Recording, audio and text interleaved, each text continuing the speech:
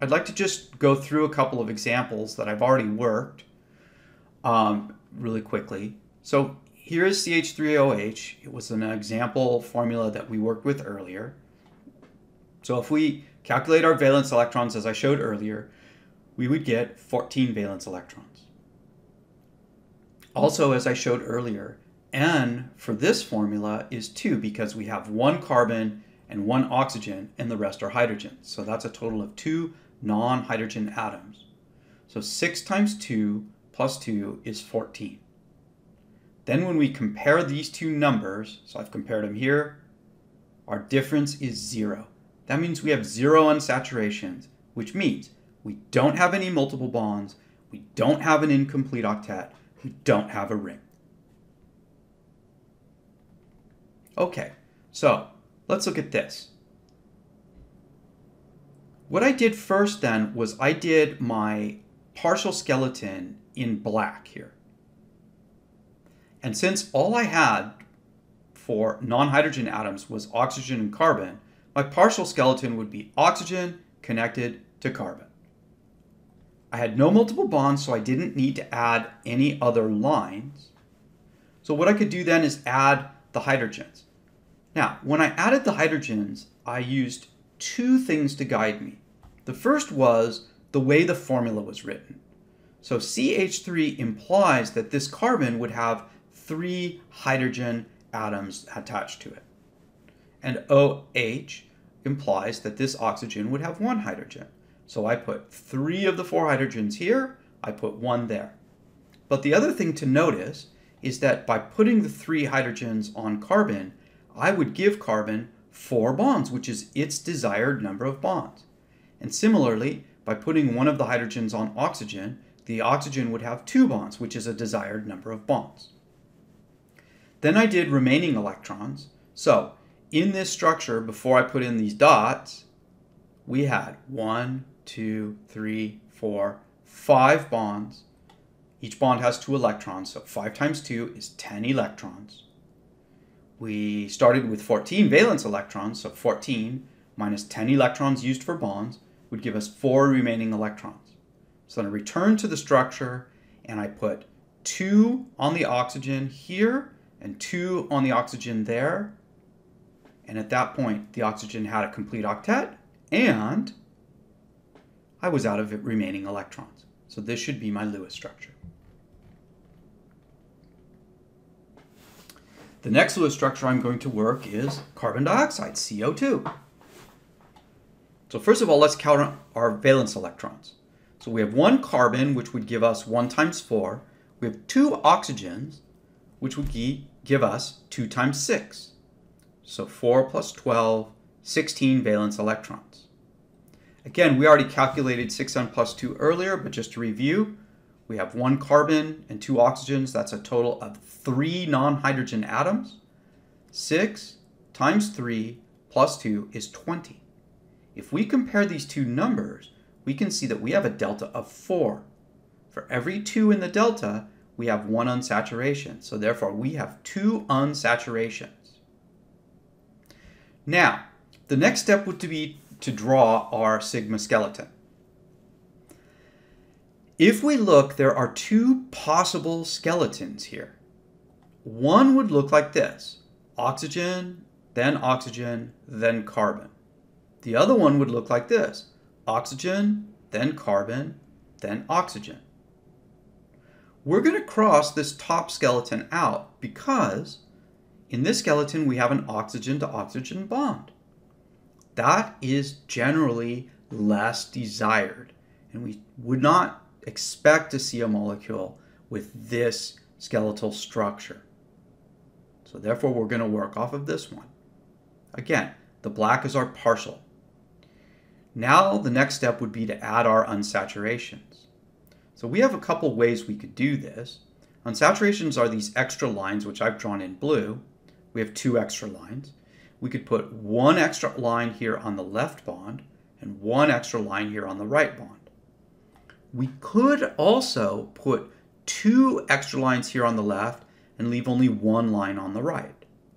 The reason that I chose to do this one is that by putting two lines here I get two bonds to that oxygen, which is its desired number of bonds. And then I can put two lines here and also give that oxygen its desired number of bonds. Whereas if I put three lines here, this oxygen would have three bonds, which would be more than its desired number, and that oxygen would have only one bond, which would be less. We're going to see that that actually is, to some extent, a valid structure, but it represents uh, a, a, resonance structure and uh, a different way of sharing electrons. At any rate, starting going from this structure then, we would do our remaining electrons. So ignoring those dots, we have two, four, six, eight electrons in our structure already. So that's this. We subtract it from our total number of valence electrons. That gives us eight remaining electrons. So we start on one of the oxygens because it's most electronegative. We put one, two, three, four. Now that one is full. So we move to this one, five, six, seven, eight, and that should be our complete structure. Finally then, I just really quickly want, or I want to show you Lewis structure of ionic compounds. So with when we suspect that there's an ionic bond in the molecule, what we do is we break the formula into two separate ions and we do individual Lewis structures for each ion. If we don't do this, then 6n plus 2 is not going to work.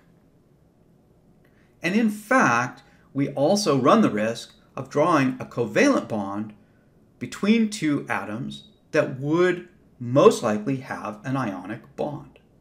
So how do we recognize an ionic bond?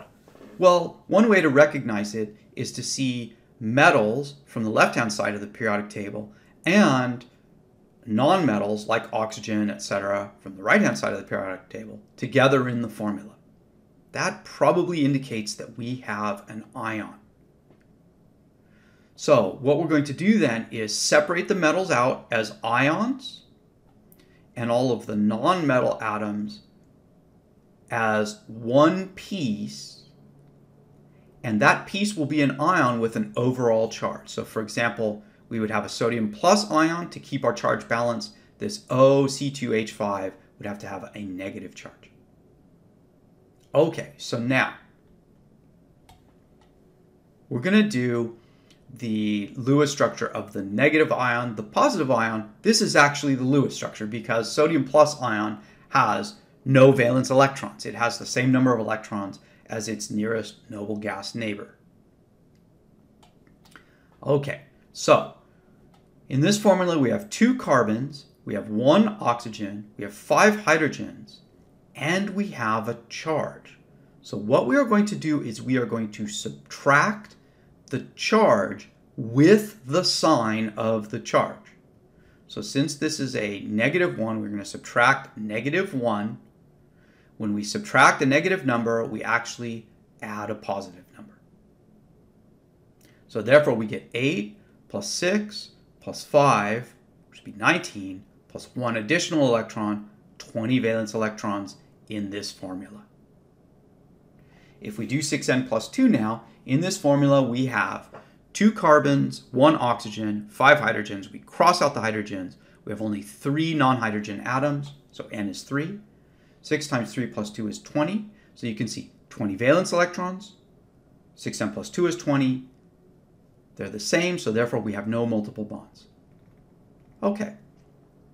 So now we have to draw a skeletal structure. This is where it's going to get complicated. There really are two possible skeletons here. We have this one that I've drawn, which was oxygen to carbon to carbon. We also have a skeleton where we can do carbon to oxygen to carbon. That turns out to create a valid structure, but a very unlikely structure for other reasons. So what we're going to do is we're going to keep this oxygen on the outside where it can do ionic bonding with the sodium. So therefore I chose this structure. Oxygen, carbon, carbon. We have no multiple bonds, so just this black structure would be our partial skeleton. Now we have to fill in hydrogens. Again, what we're going to do here is we're going to kind of be guided by our desired number of bonds, and we're going to tend to try to get our hydrogens on the less electronegative atoms. So for example, we're going to try to fill up these carbons before we start filling up that oxygen. That's not always going to work 100%, but it should get us pretty close. At that point then, we do our remaining electrons. Uh, if we look at our skeleton with just lines 1, 2, 3, 4, 5, 6, 7, that's 14 electrons, so 20 minus 14 is 6. When we look at our partial structure, oxygen has only one bond, so it's going to want 1, 2, 3, 4, 5, 6. And then, because we haven't done formal charges yet, we're going to put this entire structure in brackets and put a charge on the outside of the brackets to indicate that the entire structure is a negatively charged ion.